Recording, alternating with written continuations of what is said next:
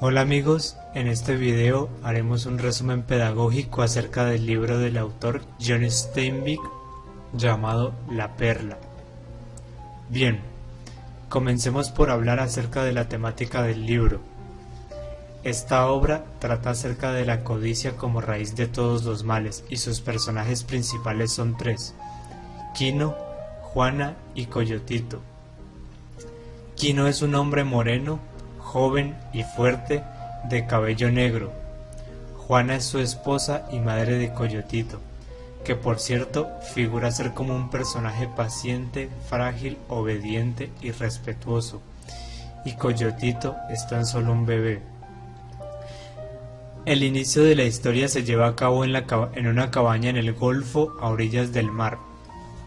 Un día amanece con total normalidad hasta que de repente un escorpión pica Coyotito. Por lo tanto, Quino y Juana deberán recorrer hacia la ciudad contigua a la playa en busca de un médico. Médico que se niega a atenderlos por dos razones. Por su etnia y por la falta de dinero, al ser ellos de una familia pobre. Desde ese momento regresan a su cabaña en la playa y Kino se pone en la obligación de capturar perlas en el mar que puedan ayudarlo a, pagar los honorarios del doctor.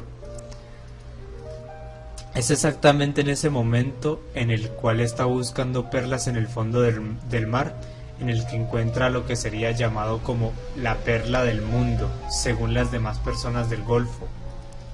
Perla tan grande como el huevo de un ave, brillante y reluciente, que trae consigo una música hermosa y pacificadora. Dicha música obstruye las diferentes músicas que oía Kino, como por ejemplo la música familiar, que se trata acerca de los sonidos de la cotidianidad, como su esposa cocinando o su hijo mientras bosteza. En ese momento, Juana observa que la herida ocasionada por el escorpión que ella anteriormente había succionado para extraer el veneno y en el cual puso hierbas de, mar para menguar la hinchazón, habían ya curado su malestar. Entonces ya no dependían de la ayuda del médico para curar a Coyotito.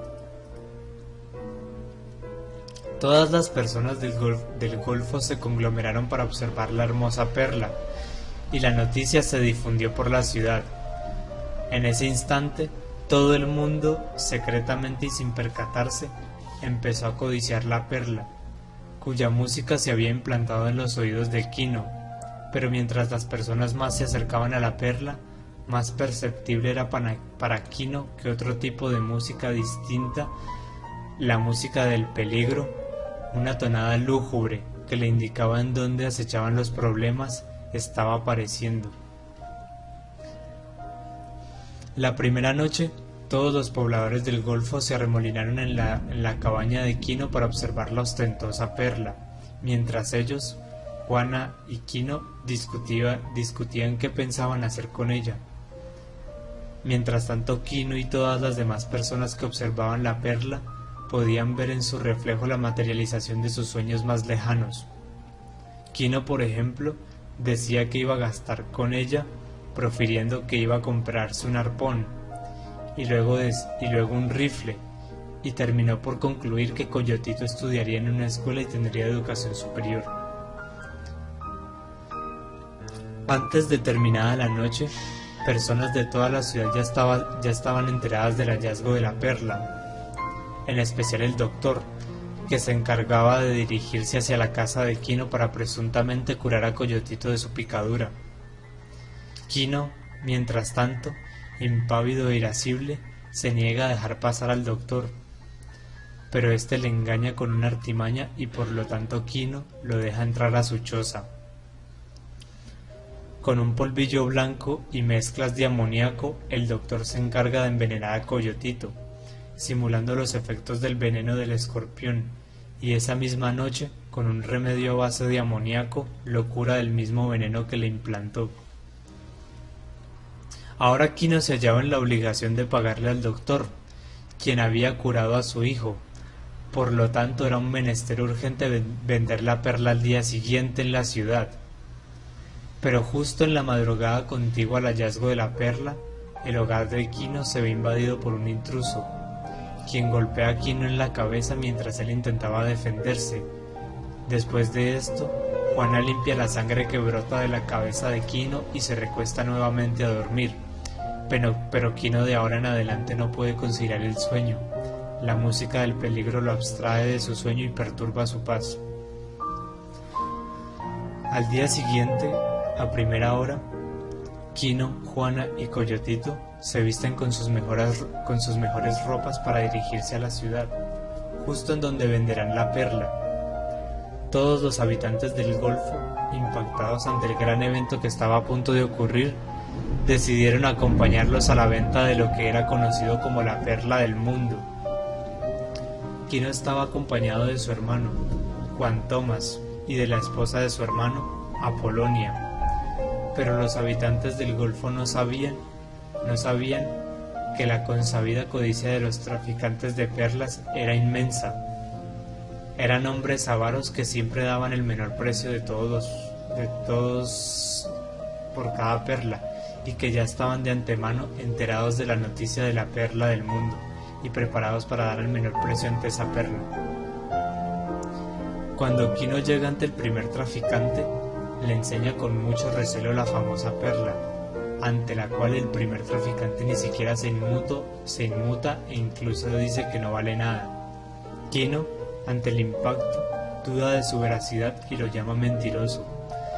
Pero el traficante llama a sus compañeros, los cuales corroboran su opinión de que la perla es monstruosa y no vale nada. Es en ese momento en el cual Kino, iracundo y ciego de rabia, abandona a los traficantes y, y decide vender su perla a la capital. Todos los habitantes del Golfo estaban entre confusos y decepcionados al hallar una presunta verdad de que la perla del mundo no valía nada.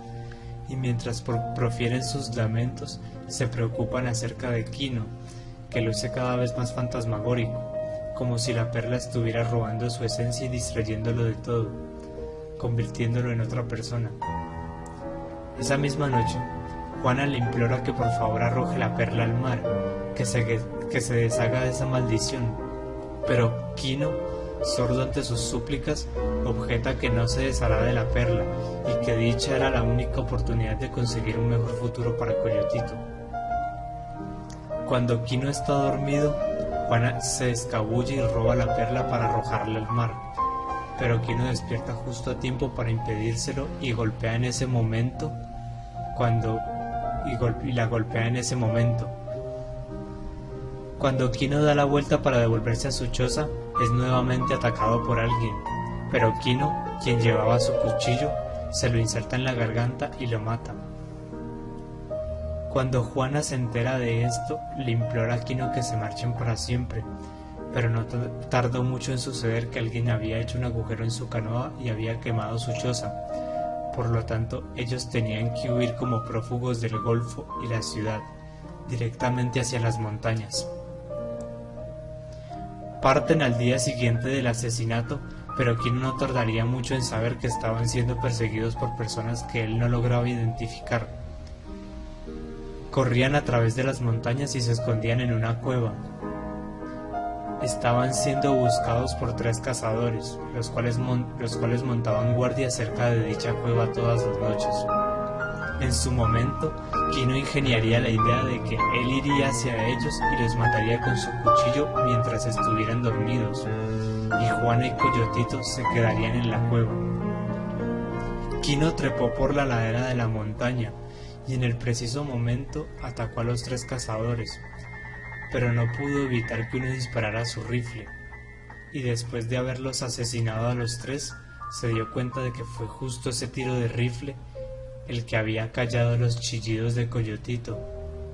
La bala le había perforado la cabeza a su hijo.